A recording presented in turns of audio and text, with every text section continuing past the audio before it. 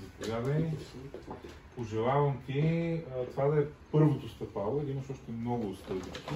Много често да слушаш химна и да си горд, че си българин и че си борбен и че имаш възможност да печелиш. Да бъдеш жив и здрав. И разбира се и на треньора, защото треньора, как, как беше, седи отстрани, подготвя, подготвя в най-сублимния момент вече каквото и да прави, вече няма, няма никакво значение. А, госпожо Радева, Поздравления и от мен.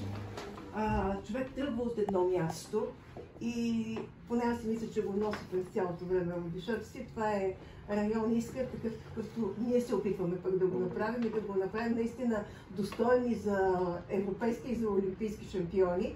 Надявам се да го харесваш и да го обичаш и пожелавам нови успехи. Заповядайте, бъдете здрав.